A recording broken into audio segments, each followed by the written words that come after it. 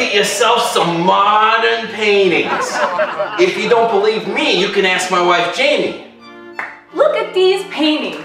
Look at this one. Look at that one. You can stick these things anywhere. They make your house look like the MoMA, like the Art Institute. People are gonna be like, who lives here? Picasso?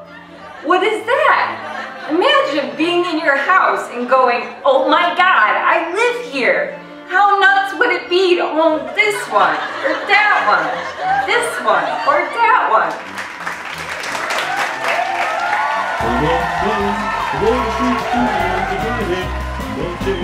You gotta get